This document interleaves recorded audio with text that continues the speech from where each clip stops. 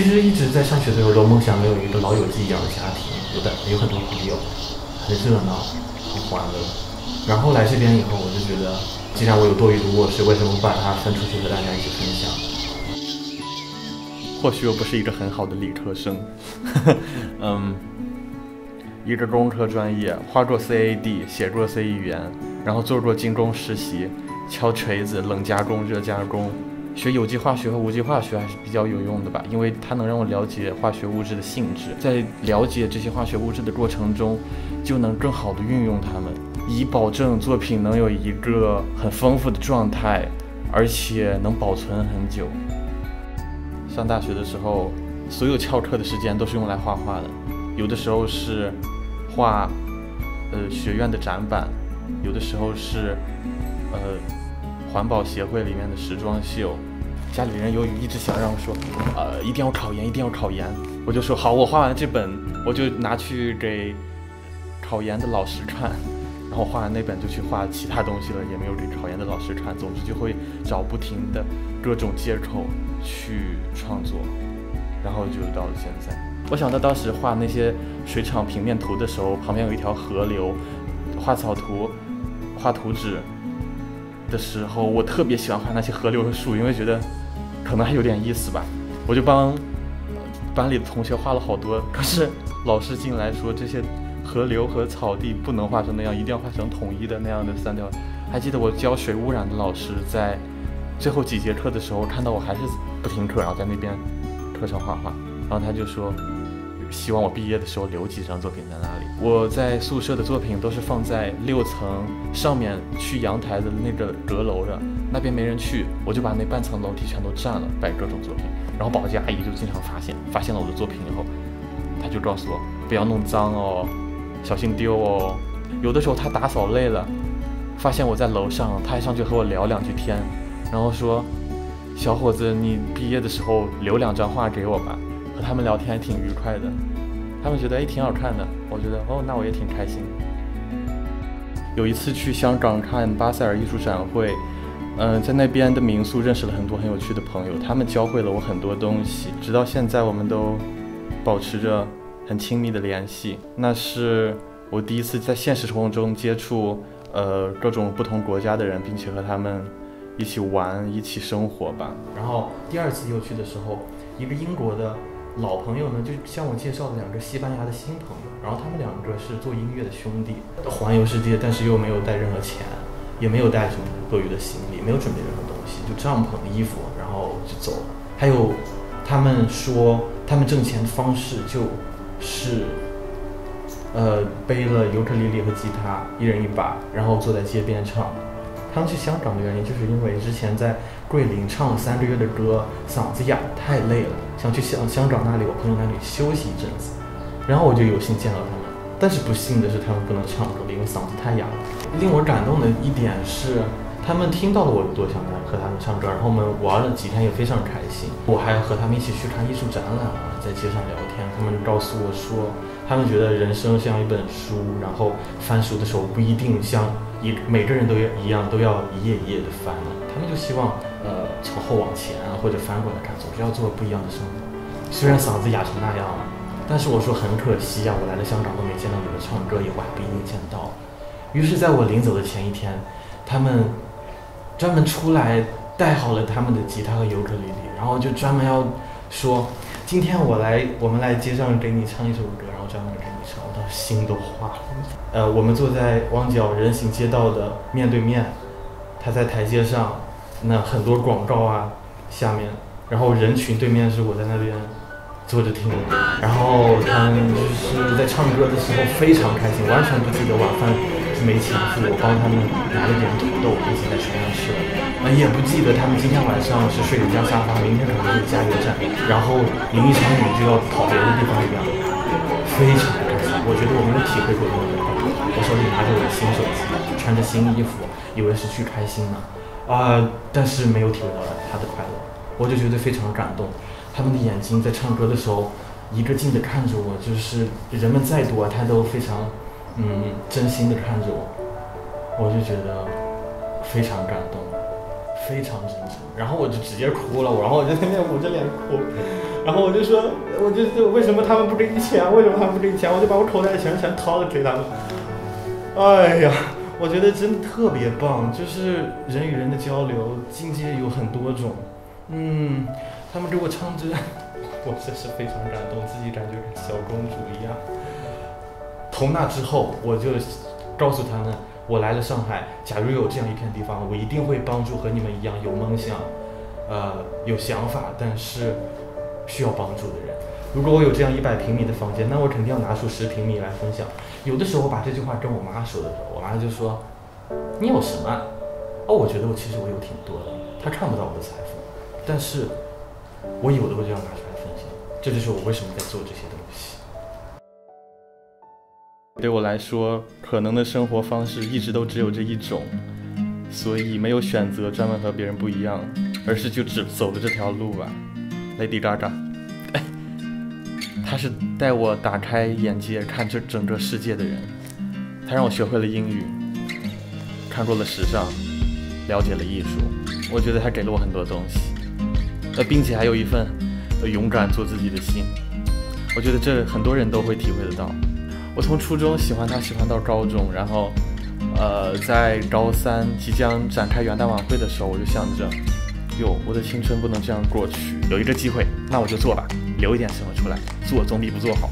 然后，我就开始想怎么能做一件衣服，那也是我第一次做衣服，第一次尝试所有的东西，第一次做表演，买了假发，做了头饰、面具，做衣服的时候是在高中宿舍做的。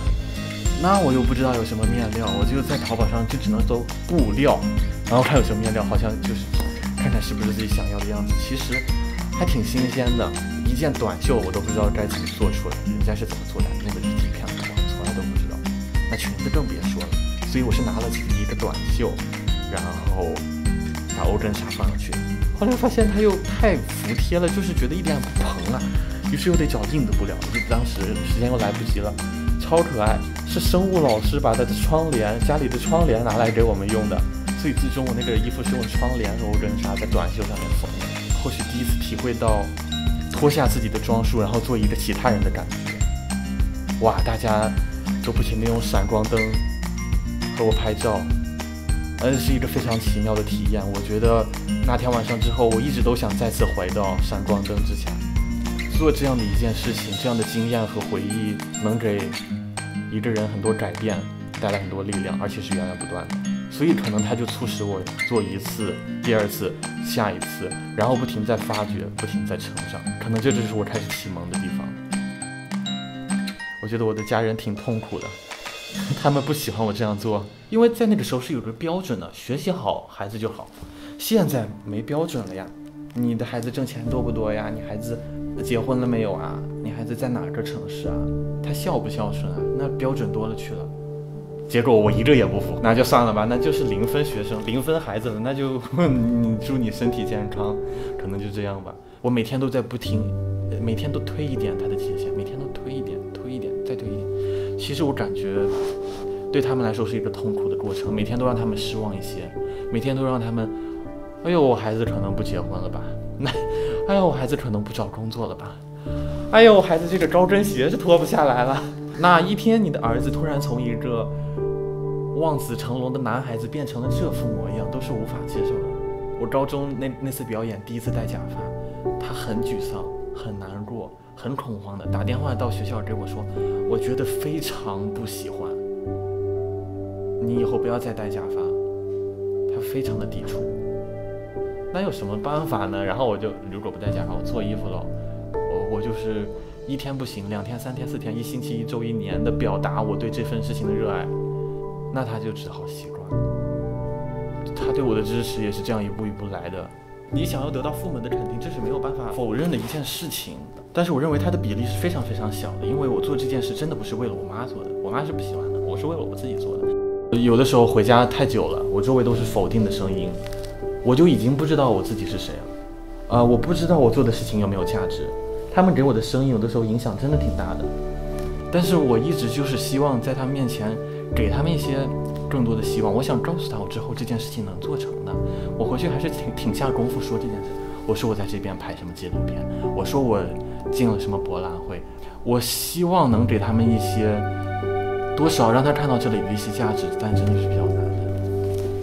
非常觉得感谢我妈的一点就是，她再不支持，也不会干涉，也不会反对。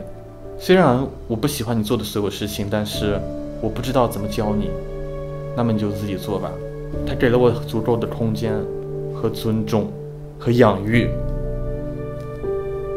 我才能有幸到现在。我们还是互相想念的，有事儿回去，没事儿的话。但是他们其实替我担了很多很多责任，我也清楚，只希望能尽快帮他们，呃，也分担一些，努力尽快把这件事情做好吧。我一直觉得做艺术就是做人，如果你把这个人做好了，做纯粹的作品做好了，那身上的光芒是无限的，并且你的声音是非常独特的，就是他们所有的独特之处造就了他们的这些魅力。他其实是几年前我想到的一个形象，是在。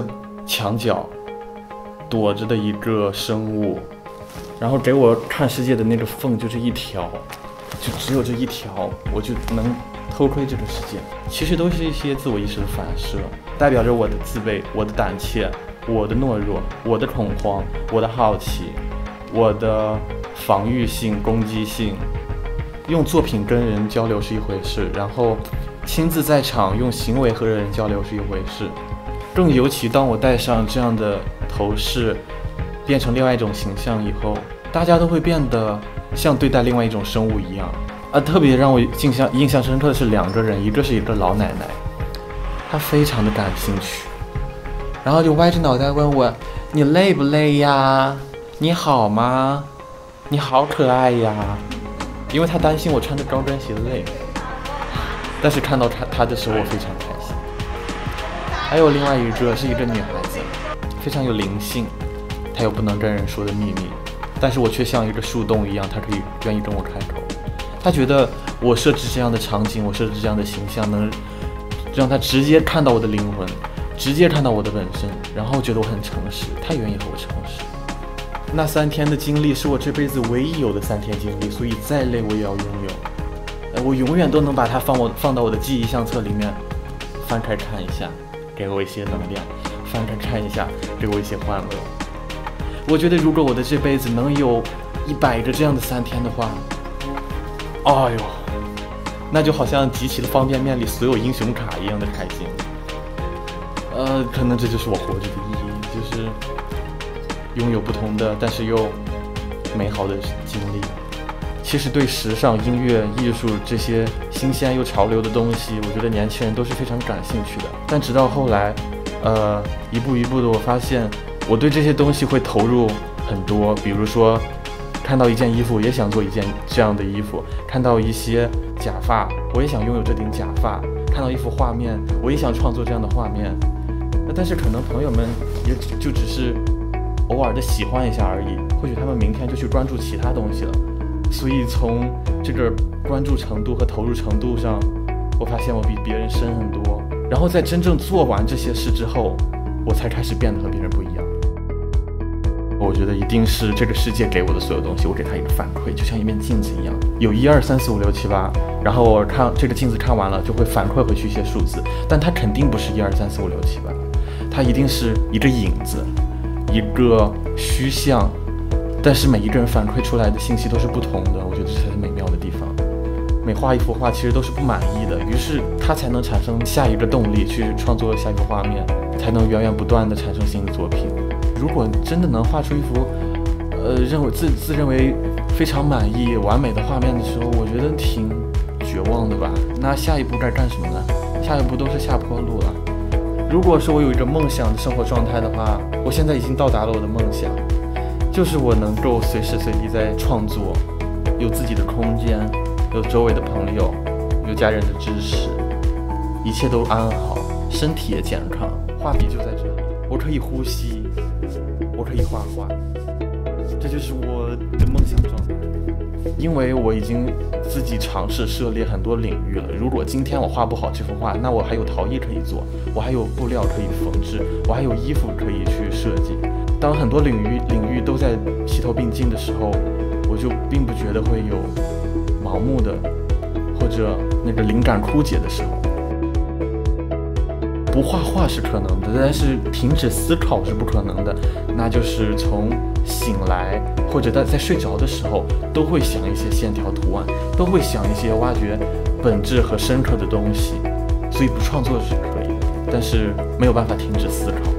因为我假如画画画累了，我做服装就是休息；呃，做做服装做累了，我搓一会儿陶泥也是休息。停下来的时候，我就不再活着了。每一秒都要在做这一件事，我要不停的思考，我要不停的创作，不能离开这个状态。如果你这一秒想要创作的话，如果你这一秒再创作，在这个状态的话，你这一秒就是艺术家。